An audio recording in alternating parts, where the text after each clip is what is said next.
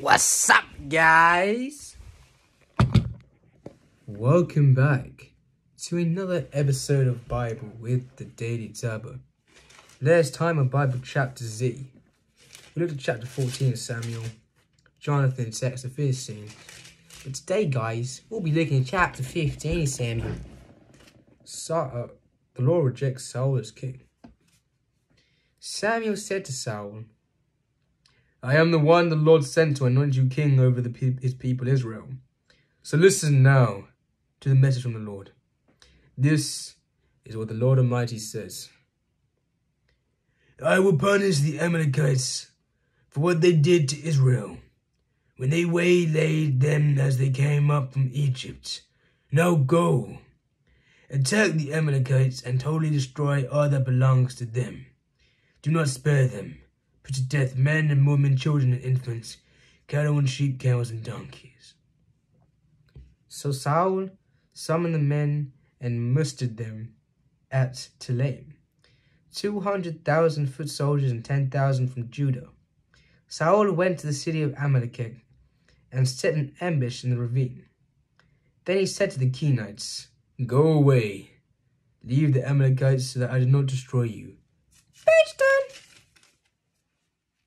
along with them. For you showed kindness to all the Israelites when they came out of Egypt. So the Kenites moved away from the Amalekites. Then Saul attacked the Amalekites all the way from Havilah to Shur near the eastern border of Egypt. He took Agag, king of the Amalekites, alive and all his people totally destroyed with the sword. But Saul and the army spared Agag and the best of the sheep and cattle, the fat calves and lambs, everything that was good. These they were unwilling to destroy completely, but everything that was despised and weak, they totally destroyed. Then the word of the Lord came to Samuel. I regret that I have made Saul king because he has turned away from me and has not carried out my instructions. Samuel was angry. He cried out to the Lord all night. Early in the morning, Samuel got up and went to meet Saul, but he was told, Saul has gone to Carmel. There he has set up mounts and monuments in his own honor, and has turned and gone on down to Gilgal. When Samuel reached him, Saul said, The Lord bless you. I have carried out the Lord's instructions. But Samuel said, What then is the bleating of sheep in my ears? What is the lowing of cattle I hear? Saul answered, The soldiers brought them from the Amalekites. They spared the best of the sheep and cattle to sacrifice to your Lord God, but we have totally destroyed the rest. Enough! Samuel said to Saul, Let me tell you what the Lord said to me last night. Tell me, Saul replied. Samuel said, Although you were once small in your own eyes, did you not become the head of the tribe of Israel?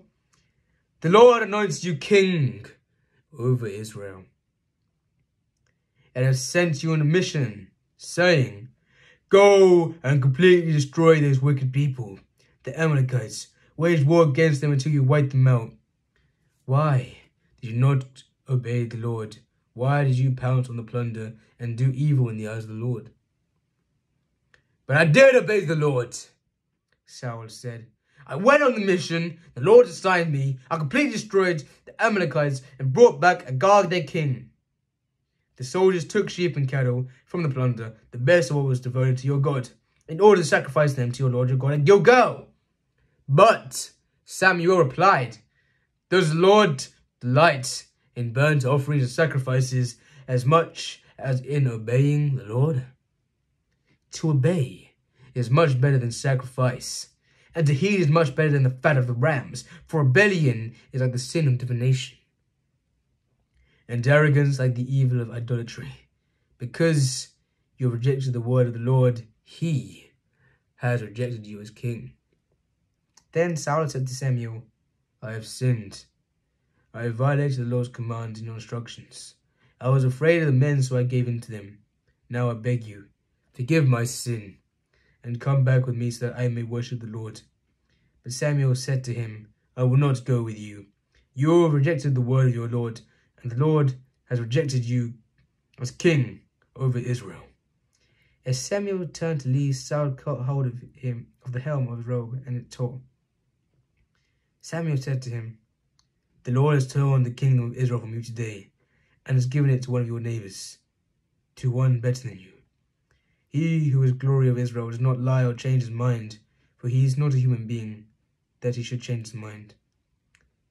Saul replied, I have sinned, but please honor me before the elders of my people and before Israel. Come back with me, so I may worship the Lord your God. So Samuel went back with Saul, and Saul worshipped the Lord. Then Samuel said, Bring me Agag, king of the Amalekites. Agag came to him in chains, and he thought, Surely the bitterness of death is past.